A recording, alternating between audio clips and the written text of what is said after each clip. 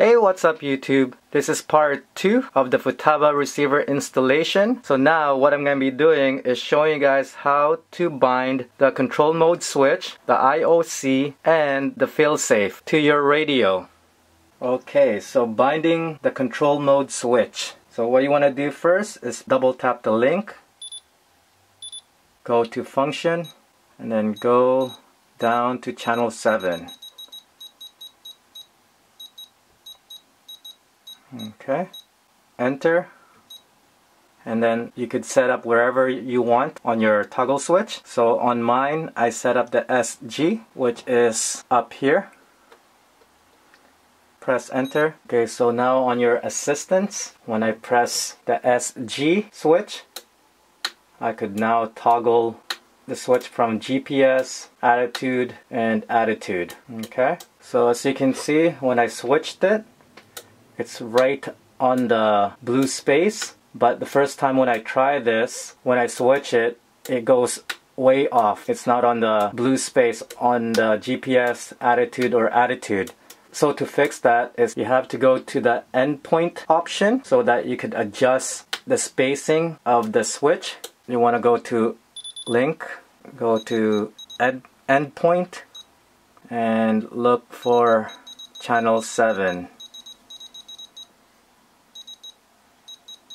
Okay, so just copy what I have here. 80, 100, 180. Alright, so once you have those, then you should be okay in adjusting your GPS attitude and attitude mode. Alright, so the next step will be activating the failsafe mode. I'm going to be choosing this stick up here, SF. Okay, so to set that up, you want to go to MOL go to ProgMix. Okay, so the first line you want to click on that. And you want to activate it. I already have done that. And then you want to pick which switch you want it to be activated. So in my case I want the SF, which is the top left corner go to your setup of your switch. So I got that off and on. Okay so now you just exit out. Okay and then from there what you want to do is change the master and slave to aux 5 so I already have done that. So just make sure you got exact the same setting as what I have here. Alright so next just flip to the next page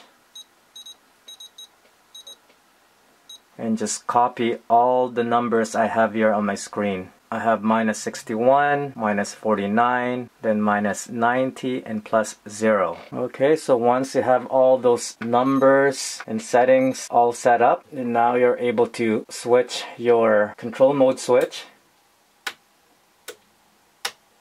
This is my GPS attitude mode failsafe mode. As you can see there I'll go switch it to attitude mode. And I could still click on the failsafe mode. Okay then I'll go to the attitude mode again. And click and switch to the failsafe mode.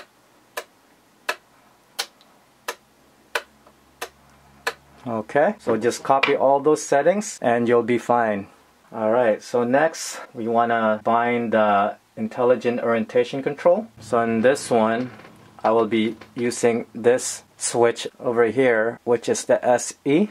So what you want to do is go to linkage, go to function, enter, and you want to look for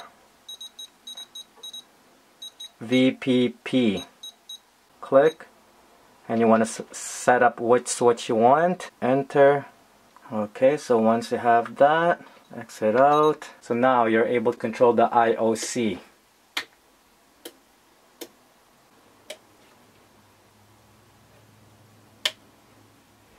okay.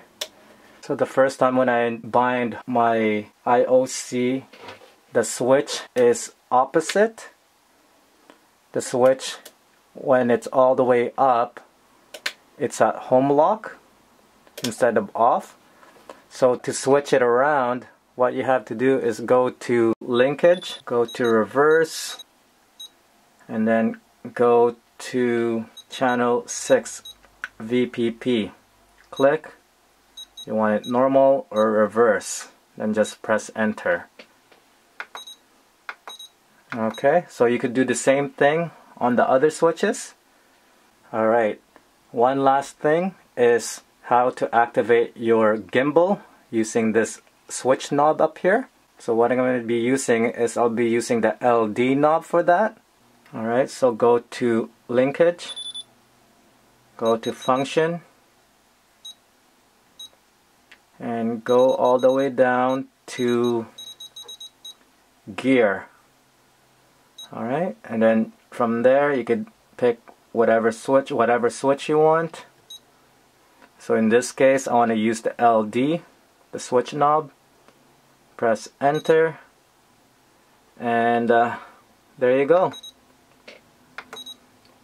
So now when I turn the knob, my gimbal will go down.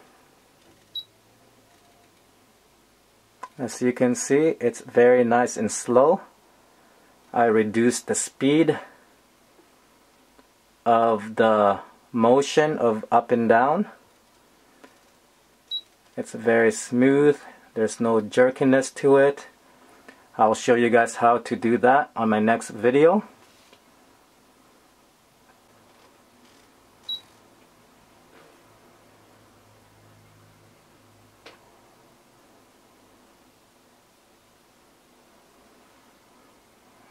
Okay.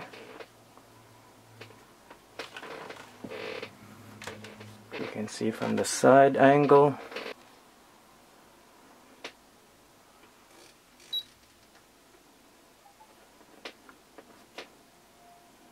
Very nice and smooth.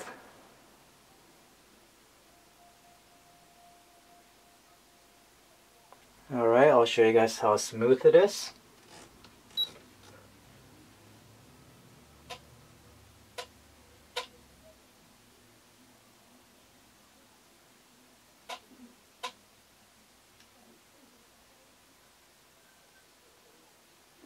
Alright, I'll raise it up again.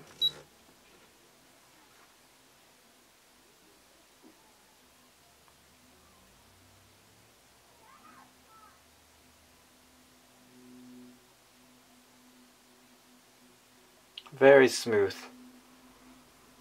So there you go guys.